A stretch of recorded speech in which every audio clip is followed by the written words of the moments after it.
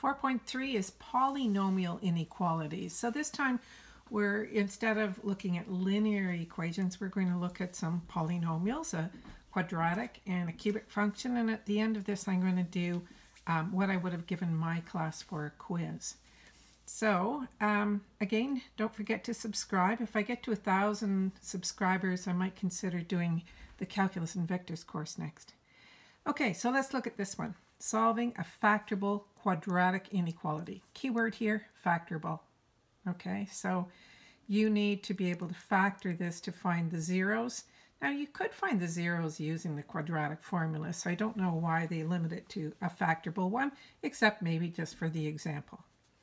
Okay, so first things first, we've got a 6 on the wrong side of the equation. We need to bring it over to here to set it to 0 so that we're finding the zeros of the function. So that's pretty easy. Subtract. So I want to know where is this equation less than 0? Now I'm going to show you two techniques. One is the way the textbook likes to do it. The other is the way I think you should do it because it's 10 times easier and much less work. And we're all about saving time here, right? Okay, so let's factor this. Multiplies to negative 6 and adds to positive 1. So that means plus 3 minus 2. So I have x plus 3 times x minus 2 is less than 0. So now in the chart method to solve this, what they would do is they'd say, okay, so I want to know um, you know what the zeros are, first of all. The zeros are minus 3 and plus 2. So I'm going to see what happens in the different quadrants here. So I want to look at what happens here. I want to know what happens between these two zeros. And I want to know what happens after this zero. Now, the reason I'm showing you here first, I want to say this to last because, I mean, this is the easiest way to do it, right? So let's look here. So we have two factors. We have x plus 3 and we have x minus 2. And I want to know what happens when x is less than minus 3. I want to know what happens when x is between minus 3 and 2 and I want to know what happens when x is greater than 2. So what you would do in using the tables, and again, your teacher might teach you this way, so she might, or he might expect you to show this on your test. So what you would do is you'd say, okay, let's pick a number that's less than negative 3, negative 4. Don't go crazy. Don't make it hard. So negative 4 plus 3 is a negative solution. Negative 4 minus 2 is a negative solution and a negative times a negative is a positive. Okay, so this is negative times negative, gave me positive. So that means that in this area, for x less than negative 3, it's going to be plus, so greater than 0. Now I go between here, well, easiest one to pick is 0. 0 plus 3 is positive. positive, 0 minus 2 is negative, and a positive times a negative is a negative. And finally, where's x greater than 2? I'm going to pick 3. 3 plus 3 is 6. That's a positive number. And 3 minus 2 is a positive number. And a positive times a positive is a positive. So this says it's going to be greater than 0 in this quadrant, or not in this quadrant, but in this area for x less than negative 3 and for x greater than 2. Now, you could have solved this much, much easier by just using your head and a little bit of graphing skills. You know we're graphing a quadratic. You have found the zeros. You know that it's concave up. So a quick sketch of this shows that the parabola is going to look something like this. I'm not worried about how far down it goes, unless your teacher asks you for a very accurate sketch of this, but that would be something that you would do um, in a calculus class. So what I want to know is where is this function less than 0? So less than 0, again, remember that when you're using less than 0, that means you're not including the points. So I'm going to put a circle here, a circle here, and you see how under here it's less than 0. So there's my answer. It's right here. Where is it greater than 0? Well, that would be up this way, right? The blue lines. So to solve this now, I would just say, um, therefore, minus 3 is less than x is less than 2 is the solution. Okay, so that's where this would be less than 0. Okay, so this again is the interval method. This is the graphical method. Much easier to do this method. Okay, let's try another one. We're going to look at solving a factorable cubic inequality. So here's our cubic function. Now remember the first thing you need to do when you're using a cubic function is the factor theorem. That was back in chapter 3. The factor theorem says if I can find a number that sets it equal to 0, then x minus that number is a factor of the, the function, or the polynomial. Okay, so let's go to town here and see if we can figure out a number that works. So I would try, remember you're looking for factors of minus 3, so I'm going to try f at 1.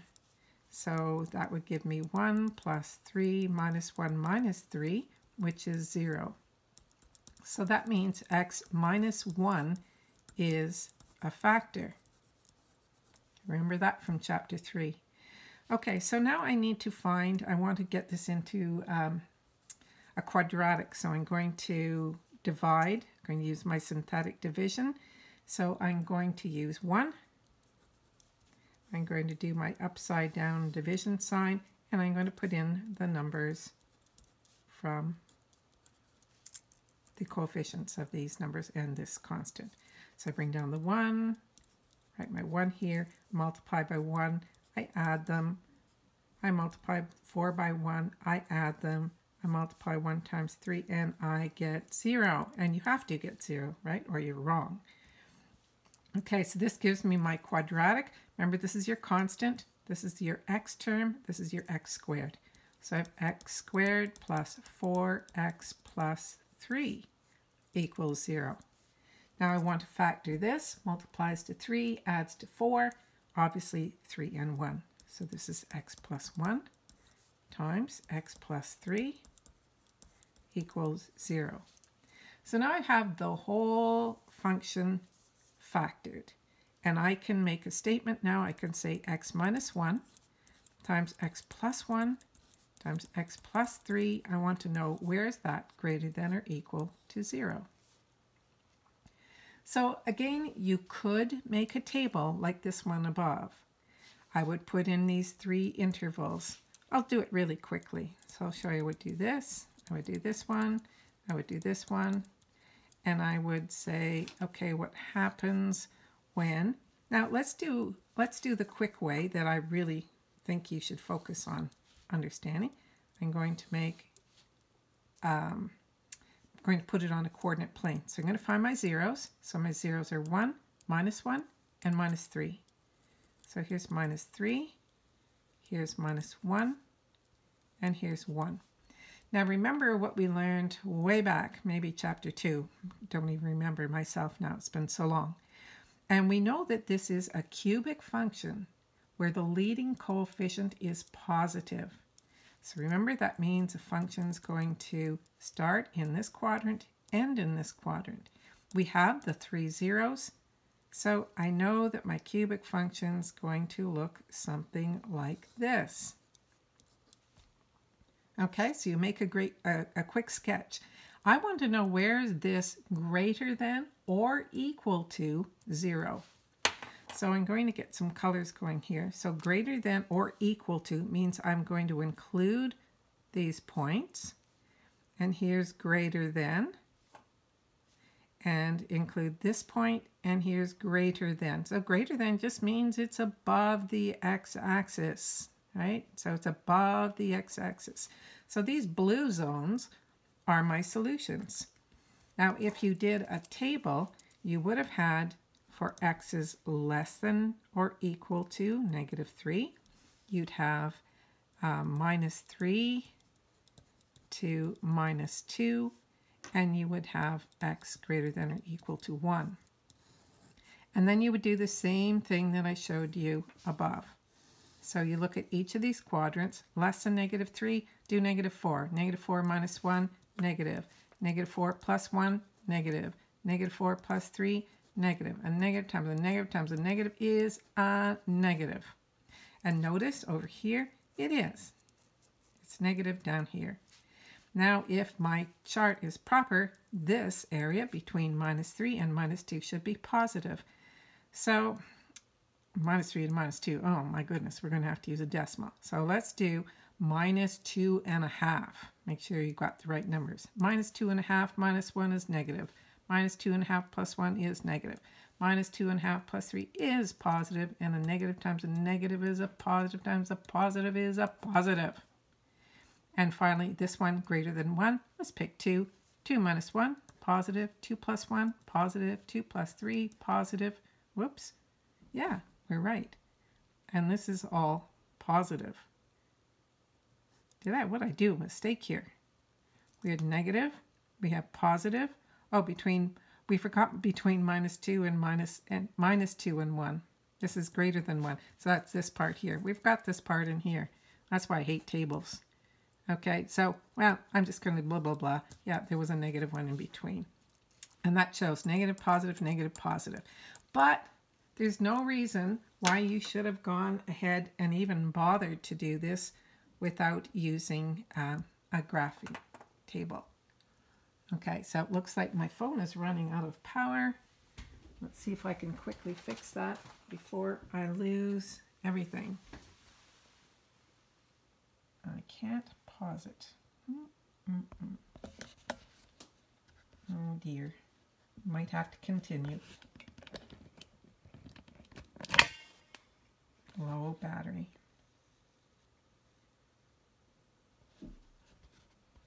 I think I think I'm okay. Hang in there, babies. Okay, so that's what we want to look at here. Let's flip over and take a look at another example. Sometimes you need to rearrange an equation before factoring. So here I am, I've got 4x squared minus 5x is greater than or equal to this. So you know the you know the drill here. We have to bring everything to the other side first. So I have 4x squared minus 2x squared minus 5x plus x minus 30 is greater than or equal to 0. So that gives me 2x squared minus 4x minus 30 is greater than or equal to 0. Now, you know, if I divide, there's a common factor here. So let's divide both sides by 2. I'll just write that over here. So that gives me x squared minus 2x minus 15 is greater than or equal to 0. And now I'm looking for multiplies to minus 15 and adds to minus 2. And of course that would just be minus 5 and 3. X minus 5, x plus 3 greater than or equal to 0. And again, this is a quadratic, so I can write it like a quadratic. I'll put a 5 here and a minus 3 here. I know it's concave up because the leading coefficient is positive, and this is pretty similar to the one that we previously did.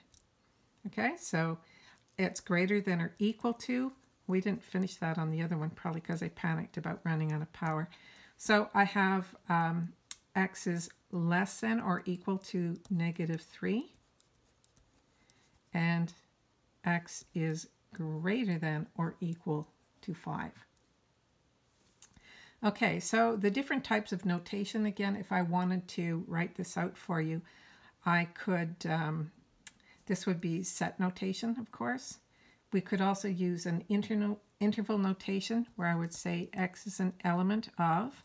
So I'm going from negative infinity. So this is less than this. So I go to negative infinity to minus 3 with a square bracket. And then you would write a big U. That means union, which means I'm also including the other interval, which would be greater than or equal to 5. So 5 comma infinity round bracket. Okay, so that's a notation you should also know. This is your interval notation, right? Inter, oops, interval. Okay, so let's look at the last question here. Find the values of x such that this is less than 12. Okay, so we have a cubic function, which means we're going to need the factor theorem. So let's rewrite this. 6x cubed plus 7x squared minus 16x minus 12 is less than 0. So now I need to find um, a factor that's going to make this left side equal to 0. And I know the answer ahead of time. f at minus 2, I'll let you do that on your own, equals 0. And then, of course, you'd have to do some long division. So I'm going to do my minus 2, long division, 6, 7, minus 16, minus 12.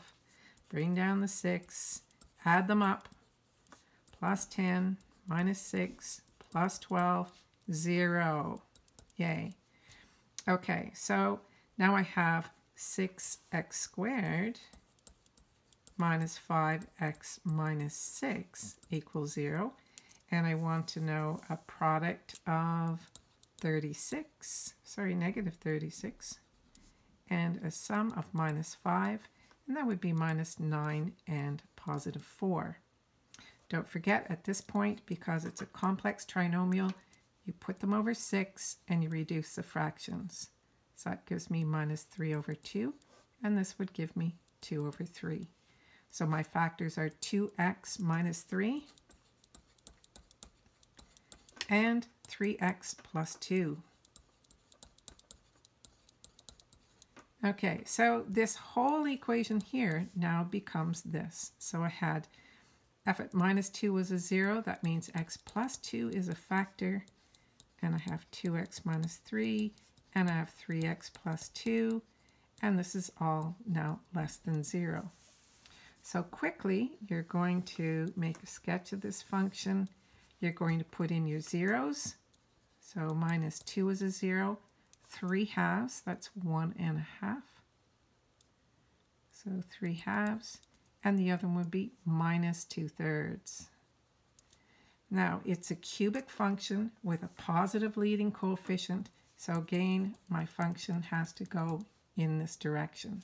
So I'm going to start here I'm going to go down and I'm going to go back up. Now, it doesn't matter how far down you come. Your teacher might ask you to find the x-intercept. Um, never assume that the x-intercept, uh, sorry, the y-intercept, uh, never assume that it is the lowest point on this part of the function. Because as you can see, if I drew this, I could make this go way down. So just don't fall into that trap. Okay, so we've got all this done and I want to know where it is less than zero. So very easily, less than zero, open circle this way, open circle from here to here, open circle. So the solution is going to be x is less than minus 2, comma, um, x is between this one, what was this number again? Um, minus 2 thirds minus 2 thirds less than x less than 3 halves. Okay, so you have to you have to look at your graph here, make sure that you've got all the intervals covered. So this one, that's less than minus 2. Now interval notation, let's do that for you as well. So less than minus 2 means round bracket, negative infinity, comma. So it goes from minus infinity to minus 2 round bracket because it doesn't include this point. Union with a big U. And now I'm going to from, from minus 2 thirds to 3 halves. And there you go. That's how you would do that. It's not very difficult. I'm sure with a little practice you can ace this. Okay, everybody, have a good day. Bye for now.